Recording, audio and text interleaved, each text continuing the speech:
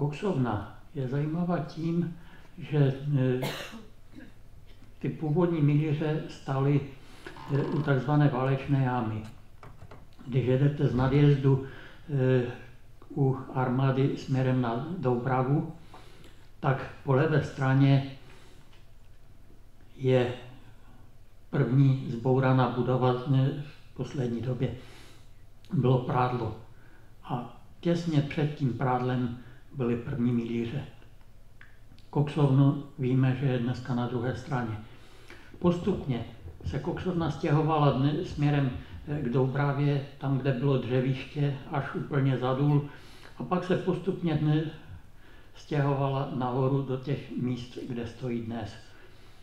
Zhruba kolem roku 1900 až 1906 se stavěly pece již eh, s, se zachycováním eh, chemických produktů a plynu.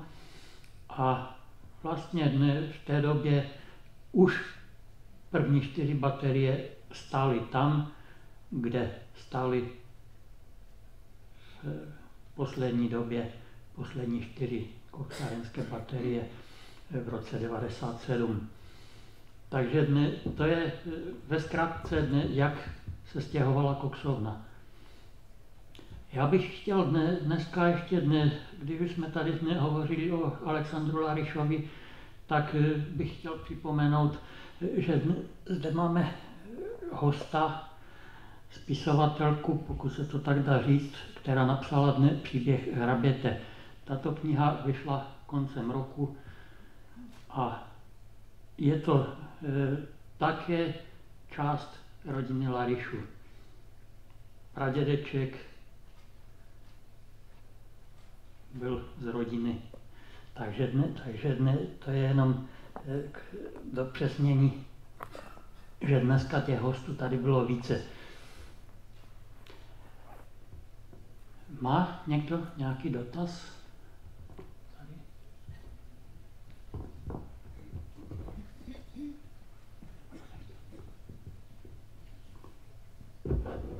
Dobrý večer. Já jsem se chtěl zeptat, eh, jak se příjmení jmenovala ta služka Valerie a kde je pohřbena? Valerie Přečková je ve Stonavě pohřbena na Hřbitově se tam nedávali schválně příjmení eh, kvůli toho, že jsme neměli svolení rodiny a nevěděla jsem, eh, co by se potom dělo. Takže mm, proto tam příjmení není, ani fotografie, i když ji máme. Ale na jedno představení tady přišla rodina té, eh, té sluštičky a říkali mi, že to příjmení tam klidně mohlo být. Tak to je taková zajímavost. Vždycky na každou diskuzi tady přijdou nějací zajímavé, zajímaví lidé. Dneska to byli nějací šlechtici um, z rodu, z rodu Lárišmených nebo Láriš a uh, jednou se třeba právě stalo, že ta rodina té sluštičky, jednou tady byl takový stařeček, který hlasoval pro název Nové Karviné s jedním N, pokaždé je to něčím zajímavé, takže to je jenom taková zajímavost, takový detail. Ještě nějaký dotaz?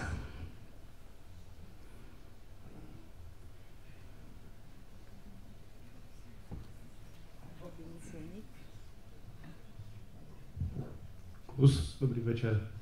Chci se zeptat, jak vůbec eh, vznikl název Karvina?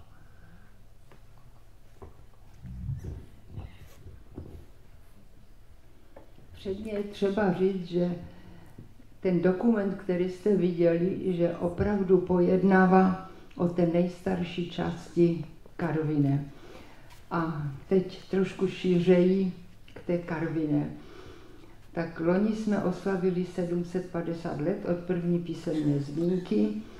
Souvisí to s existencí kláštera Benediktínů v Orlové, kteří kromě duchovního poslání měli i úkol kolonizace, to znamená hušči zalidnění, kacením lesu, zúrodňováním půdy, ale povšimli si, že se zde objevují studanky slané vody, Napadlo je, že by se to dalo ekonomicky zhodnotit. Jejich představený Vladislav Opolský 12.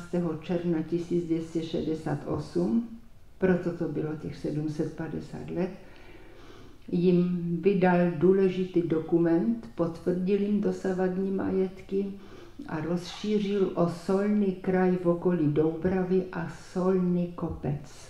A solný kopec je stotožňován dneš, dodnes existující část Karviné doly, takzvaná Solca. Tam vznikly solivary, poddaní pomáhali mnichům s odpařováním a získáváním solí, měli svá hospodářství a povšimli si, že když jejich dobytek popíjí vodu z těch studánek, že i z kusu neduživých jsou kusy zdatné urostlé a že se nejvíce daří krávám. Proto se více věnovali chovu a pastevectví krav a odtud plyne prosím název, jenže ve staroslověnštině kráva je karva, byk je karv a přípona ina ve staroslověnštině znamená, že onen prostor se k něčemu hodí, v našem případě k popásání. Tudíž karvina máme název po krávě. První písemná zmínka je o nás kvůli solí, ale název máme po krávě, no ale nejvýznamnější jsme pochopitelně těžbou uhlí, ale to až později. 500 let se věnovali zejména zemědělstvím. 1776 bylo objeveno uhlí na majetku Ertmana Floriana Láriše, ale prosím žádná sláva. Lidé se domnívali, že dřeva je dost, že uhlí páchne, čmoudí, špiní, no ale postupně ocenili vyhřevnost zejména kováři, Později dokonce vláda vydala zákon, že uhlím mohou topit ve věznicích, pak uhlí začali používat i v, i v pivovarech, no a v lihovarech, že se spotřeba uhlí začala rozšiřovat. Nicméně do té doby všechny uhelné vrty patřily skutečně Lárišům, později Láriš Ménichum, protože sňatkem si přibrali tohle jméno, proto Láriš Ménichové. Ale v druhé polovině 19. století tu přibývá další podnikatel Handwerk s panem ze Žerotína. Nechali postavit hlubinný důl Gabriela, ale zisky se jim zdaly malé a také technické poruchy. Prodali ten důl Těšínské komoře. To bylo nějaké takové, jak bych to přiblížila, ředitelství majetku Těšínského knížectví, ke kterému jsme pochopitelně patřili. Z jejich iniciativy byl ještě vyhlouben důl Hoheneger na území Karvine dolu, pak prodali baňské hutní společnosti oba doly a baňská hutní společnost ještě vyhloubila důl Barboru. Hodně důležité pro karviňáky Karvinské doly nepatřily jen rodu Lary Šménichu, ale byly tam dvě těžební podnikatelské skupiny. Rodu Lary Šménichu patřil důl Jan Karel, hlubina Františka Jindřich a baňské hutní společnosti patřila Gabriela Hoheneger a Barbora. Jenže časem o uhlí začal být větší zájem protože postavili Vítkovické železárny, k tavbě železa bylo lépe používat uhlí, potážmo koks a postavila se Košicko-Bohumínská dráha, po které se uhlí dostalo na jedné straně až do Vídně a na druhou stranu až do Budapešti. První uhelný vlak naložený z Karviné skutečně uhlím vyjel 12. ledna 1800 60, 69. Když byly větší, ještě jsem zapomněla říct, že také zde přicházela v úvahu parní energetika. Trať nebyla tehdy elektrifikovaná a lokomotivy potřebovaly k provozu uhlí. Když se těžilo více uhlí, bylo třeba více pracovních sil a bylo potřeba, aby někde bydleli. Proto přibývaly kolonie jako ubytování, jak jste viděli v dokumentu, pro horníky.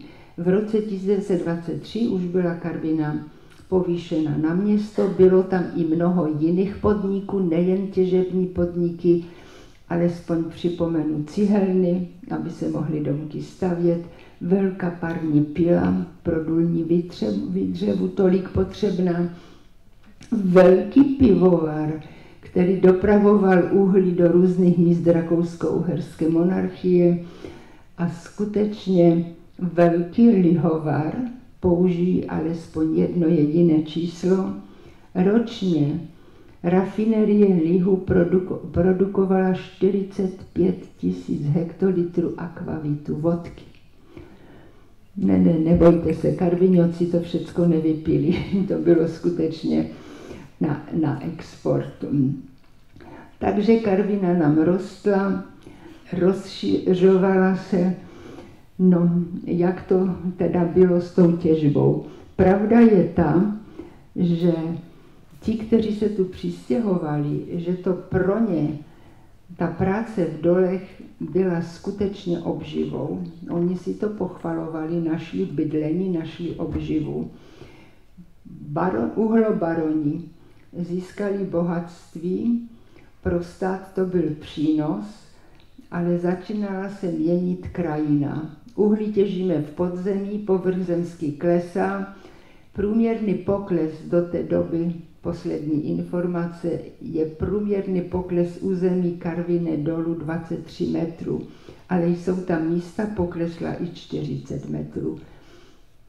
Tím, že klesá povrch zemský, domy praskají, Eh, musí se prostě roz, domy rozebrat a obyvatelstvo se stěhuje pochopitelně pryč mimo Karvinou, protože tam nelze bydlet. Pokud dojde k propadu rychlému, naplní se vodou, tak ten třetí, ten další neduch jsou umělá jezera. Uhlí není čisté, co se vytěží, musí se vytřídit na doprovodnou horninu a na uhlí a z té horniny nám tady vznikají umělé haldy. Představenstvo města se bránilo, že teda krajina se mění a že je třeba uvažovat o omezení těžby.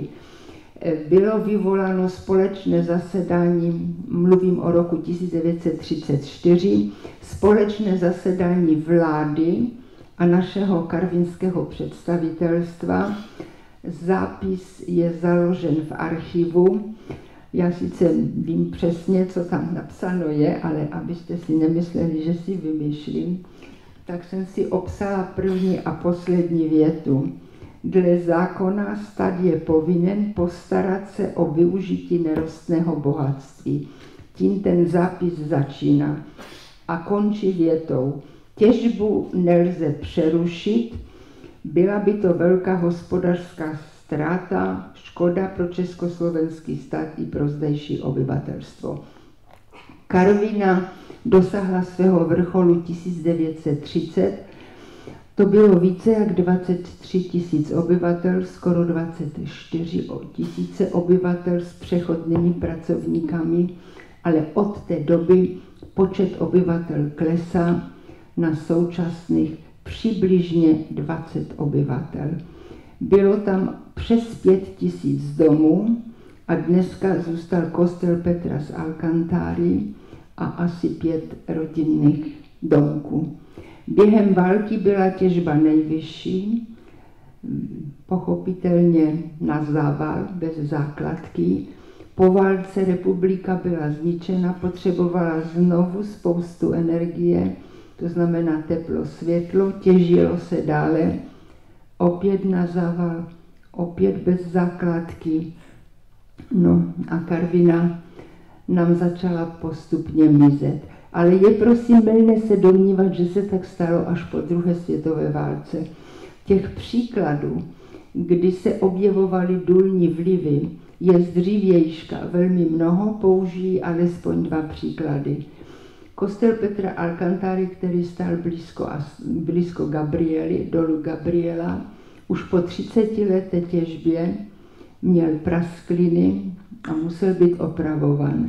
A ještě jeden příklad z pozdější doby, měšťanská škola Masaryka, uvedena do provozu 1922 a při generální subkolaudaci o dva roky později tam byly zjištěny důlní vlivy a musela být už po dvou letech ta škola opravována.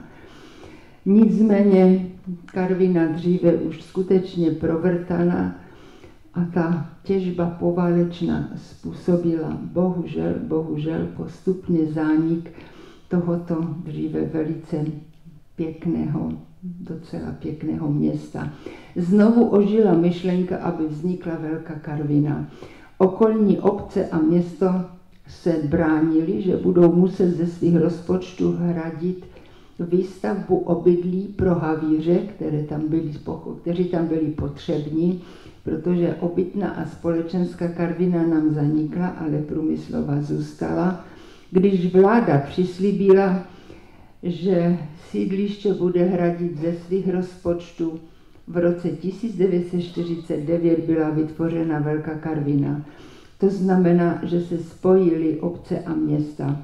Původní Karvina, Frištát, Staré město, Darkov, Raj, Louky. Podotýkám, že městská část Mizerov, Hranice a Nové město byly kdysi územím součástí Frištátu. A tak letos vzpomínáme 70 let, kdy vznikla Velká Karvina. Bylo asi 340 návrhů, jak by se mělo nové město jmenovat, ale nakonec bylo rozhodnuto velmi skromně. Zůstane Karvina, protože těžbou uhlí jsme opravdu nejznámější. Pouze došlo ke gramatické úpravě. Ve 20. letech bylo odstraněno dvojité V a při slučování dvě N se změnilo v jedno N a s dlouhým A. Dokument, který jste viděli, pojednával o té skutečně zaniklé části Karvine. Myslíme si, že se vám mohl docela líbit, že to bylo takové oživení, taková vzpomínka na místo, které kdysi bylo, bylo velice krásné. Prosím, ale nezapomeňte, já vždycky říkám, nejstručnější dějiny Karviné jsou tři slova. Sůl, vznikli jsme kvůli soli, to je první písemná zmínka.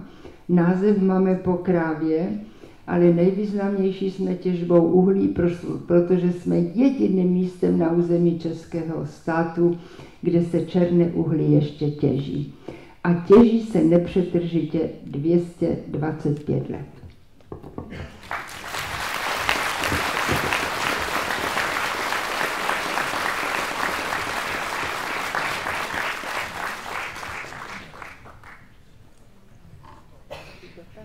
Chvíličku, tak ještě nějaký dotaz?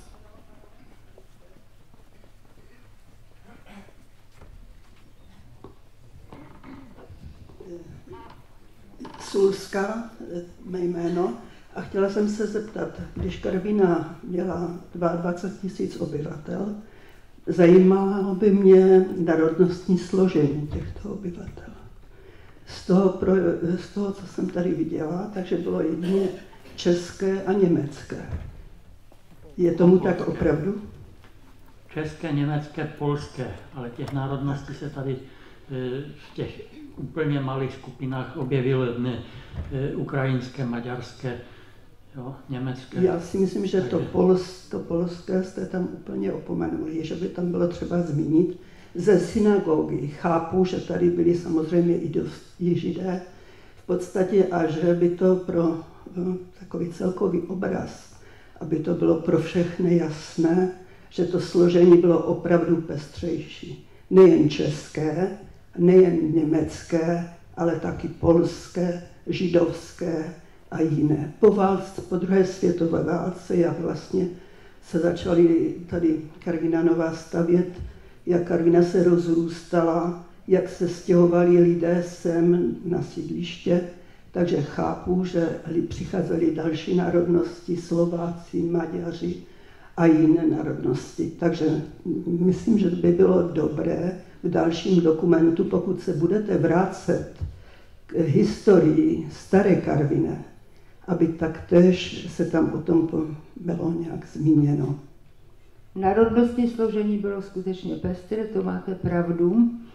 Původní obyvatelstvo plus velká skupina obyvatel, kteří přišli z Haliče od Krakova, protože tahle oblast patřila k rakousko-herské monarchii a měli tam opravdu obtížný způsob obživy, takže přišli tady, takže opravdu to byla silná národnostní skupina, ale co se týče administrativního a technického personálu v těch podnicích, ten přicházel ze zemí německy mluvících. A také školství bylo trojazyčné, to znamená školy české, polské i německé. A německé školy byly skutečně, zdá se, hodně, hodně navštěvované, ale ne proto, že by naši občané nebyli vlastenci, ale brali to velmi pragmaticky. Říkali, ten můj synek stejně nakonec půjde robit na šachtu, tak aby se se Steigerem domluvil, tak radši šel do té německé školy. A ještě jedna okolnost tady hraje roli. Kdysi se národnost do nějakých evidencí uvaděla podle obcovacího jazyka. A to tehdy malinko zkreslovalo. Ale byly tu i jiné národnosti, máte pravdu. Zapomněli ještě... jsme na Slovenskou. No samozřejmě a nejvíc potom po vlastně po vojně už po druhé světové válce kdy se Karvina rozrůstala, nebo štát, že ta Karvina jako by byla mm, už moc ne, ale Karvina začala růst jako zdejší momentálně ta Karvina. Ještě další dotaz eh, jsem se chtěla zeptat, jestli v tom dalším pokračování bude opět o staré Karviné, anebo bude i o nové Karviné. Tak děkujeme za dotaz. Uh... Další díl bude opět o zaniklé Karviné. Těch témat je strašně moc. Ten první díl byl v podstatě takový zhuštěný a to nej, nejzajímavější a nejzásadnější jsme tam dali, ale druhý díl už bude se zaobírat více detaily nějakého tématu a pomalinku začínáme natáčet. Ještě nějaký dotaz?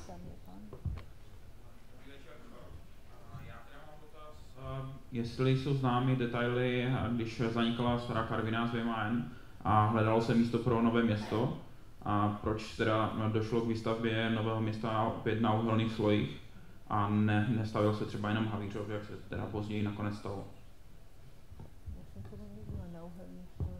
Tak eh, šestka je postavena ne, na uhlí. Vlastně ne, se to táhne ne od Polska, ale eh, problém, problém byl v tom, kde to postavit. Protože dne, když si vezmete, tak vlastně dne, celé Karvínsko, Ostravsko, část Fridecka je postavena na úhlí. Ale když si zase vezmeme dne z druhé strany, tak ty sloje dne ostravské byly nízké, to byly nějaké 60 kilometrů, takže tam ty poklesy se neprojevovaly až tak velice jako u nás.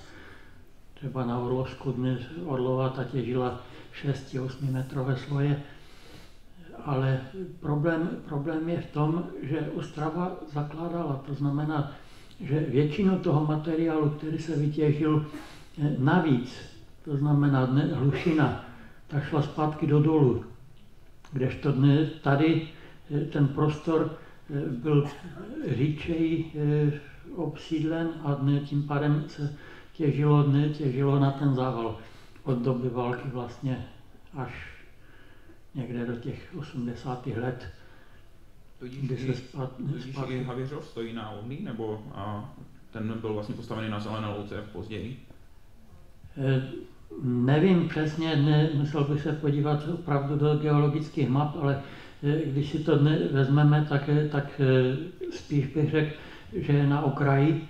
E, s tím, že dne vlastně František Dukla ty, ty šachty šly i částečně pod to město, ale dne, jak říkám, tam už se prováděla zakládka, takže tam se to dne až tolik neprojevilo. Děkuji.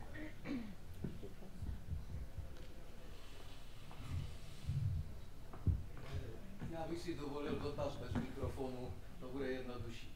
Chtěl jsem se zeptat na období, kdy ta Karvina přecházela a byla v období, kdy končilo Rakousko-Uhersko a vznikalo Československo. Probíhala tu zajímavá věc, ta se jmenovala plebiscit.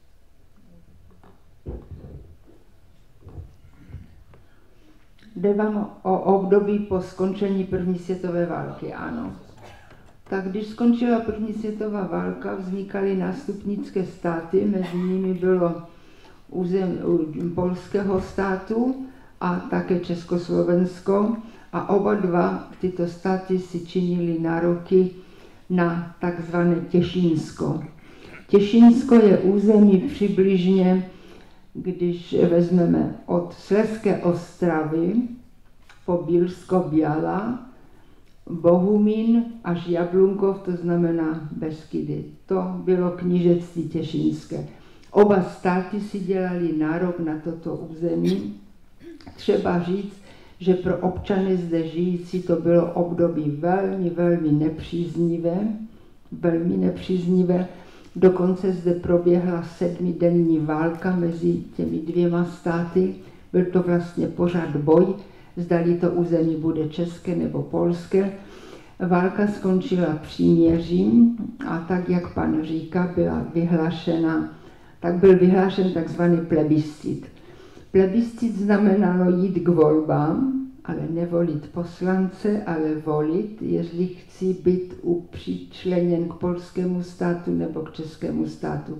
Ale protože docházelo k výpadům vzájemným mezi obyvateli a k velice ostrým výpadům, nakonec plebiscit byl zrušen a představitel polského státu, minister zahraničí Stanislav Grabský a představitel českého státu, Eduard Beneš, minister zahraničí, prohlásili, že jediné dobré řešení je rychlé řešení. A vyřešilo se to tak, že v rámci povalečné mírové konference, která probíhala v Paříži, byla do belgických hlasních spa svolána takzvaná velvyslanecká konference a belgický král byl hlavní arbitr a tam se mělo rozhodnout, co s Těšínskem. A bylo rozhodnuto 28. července 1920, máme zaznamenaný přesný čas, 18 hodin 33 minut, že rozdělili knížectví Těšínské na dvě půlky. Hraniční čárou je tok 85% tok řeky Olzy. Východní část připadla polskému státu, západní část připadla českému státu. Od té doby máme ty Těšíny dva. Těšin na území polského státu, tam zůstala část historického Těšína a po levém břehu Olzy máme český Těšín a polský stát to, tuto úmluvu podepsal o dva dny později. Na české straně zůstala nám část uhelného revíru. Prosím, patříme k Hornošleské uhelné panvi, to je asi 7,5 tisíce km čtverečních, nám zůstalo 1500 km čtverečních a zůstala nám Košicko-Bohumínská dráha takže došlo k rozdělení Těšínska na dvě půlky, což znamená, že v roce 1918 toto území, na které se ptáte, nebylo součástí Československé republiky, bylo územím nikoho, stalo se tak 28. července 1920.